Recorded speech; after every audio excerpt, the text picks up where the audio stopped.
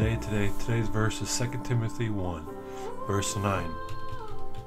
He has saved us and called us to a holy life, not because of anything we have done, but because of his own purpose and grace. This grace was given given us in Christ Jesus before the beginning of time. That's pretty cool verse to read. Awesome. Let's just try and discuss about it, you know, and see what the Lord reveals, what insight he gives us. Awesome. Have a wonderful day. Thank you for joining us on the verse of the day.